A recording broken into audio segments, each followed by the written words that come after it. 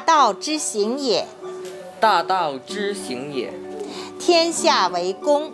天下为公。嗯，你知道这句话什么意思吗？不太知道。好，那我们来一起学习一下啊。在大道施行的时候呢，天下是人们所公有的，就是说呢，做人呢要有一个公心。嗯，好。正在教香港小朋友说普通话的人名叫靳彤彤，是香港的一名普通话老师，同时也是这间普通话教学中心的创始人。到如今，他已从事普通话教学整整二十三年。靳彤彤出生于北京，一九九四年，为了与先生团聚，他来到香港定居。靳彤彤回忆说，彼时多数香港人在用普通话沟通上存在很大困难，社会对普通话的认可程度也普遍不高。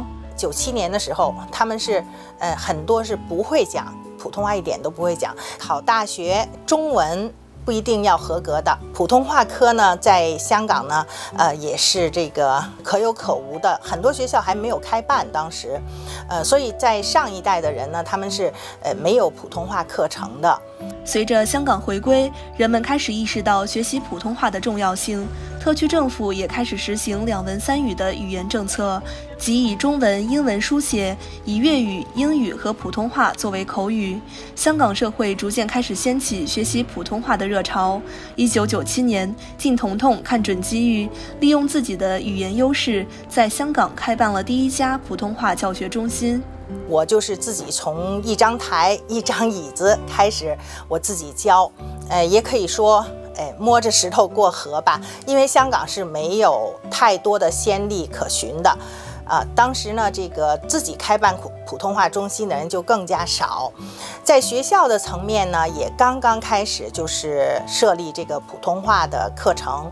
靳彤彤说，创业之初，由于资金不足，他租不起太大的课室，授课老师也只有自己一人。他白天要帮在校学生辅导中文作业，晚上还会为在职人员上夜课补习普通话，经常是忙得不可开交。随着两地交流的逐渐深入，有意向学习普通话的香港人越来越多，学习的内容也越来越深入。呃，像社会上的一些啊律师啊、医生啊。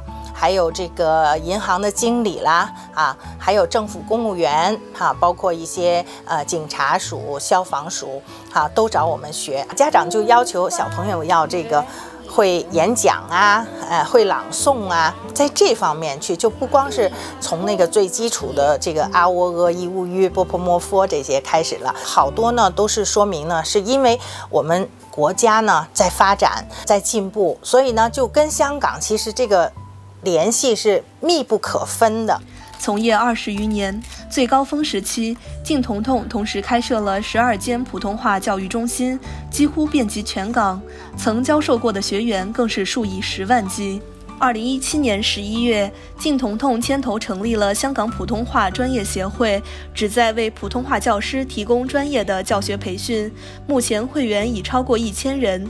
然而，正当事业风生水起时，二零一九年一场修例风波席卷香港，打砸抢烧等黑暴行为充斥街头巷尾，令社会人心惶惶。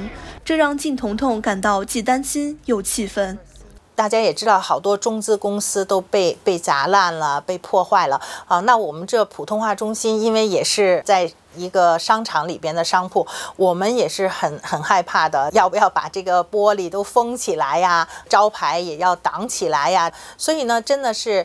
讲普通话好像成了一个罪人一样的，在香港，我就很奇怪。香港已经是回归祖国，是我们中国的土地，我们在香港的我们自己的土地上讲我们国家的语言，这个是理所当然的，对吧？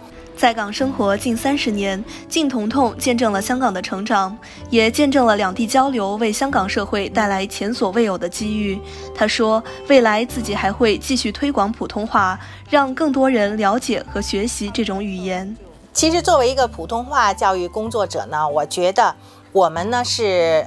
内地和香港就是祖国和香港之间的一个桥梁的作用，责任就是要把香港的下一代哈，我们要让他会运用普通话，令他将来呢有更广阔的前景。不光是大湾区啊，其实全世界很多的国家和城市都很重视汉语的啊。不是有一句话说“学好普通话，走遍天下都不怕”吗？